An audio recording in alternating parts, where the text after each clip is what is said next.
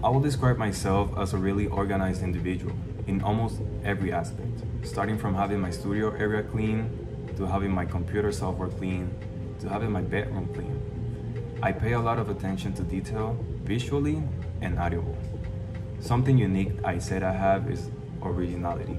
If you're talking about making music, I might look for ideas or other projects that could inspire me, but I always find a way to make it unique and innovative.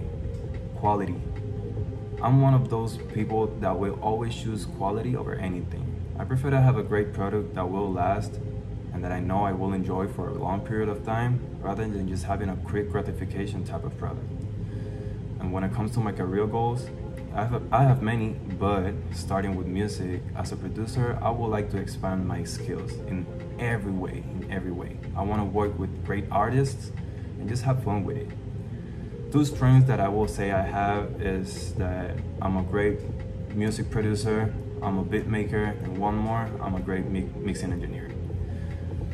You can contact me at my personal email, estebanbermudez149 at gmail.com or my business email, sonogbeats1 at gmail.com.